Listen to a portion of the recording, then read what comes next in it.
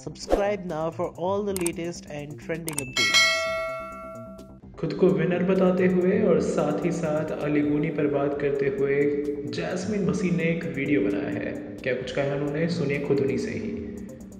हाय guys सबसे पहले big big big big thank you मतलब आई थिंक थैंक यू एक बहुत छोटा वर्ड है. I am so grateful to all of you to all my fans viewers जिन्होंने मुझे इतना प्यार किया, इतना सपोर्ट किया, मेरे इसलिए दिन रात फाइट करते रहे.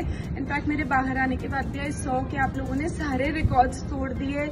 आई डोंट नो मतलब कोई भी शब्द यूज़ करूँ, वो कम है आप लोगों की अप्रिसिएशन के लिए. आप लोग जिस तरीके से मेरी ढाल बन के खड़े रहे I feel I am already a trophy कोई भी लेके आए क्योंकि ज़िंदगी में सबसे ज़्यादा ज़रूरी होता है रिश्ते और प्यार ज़िंदगी जीने के लिए।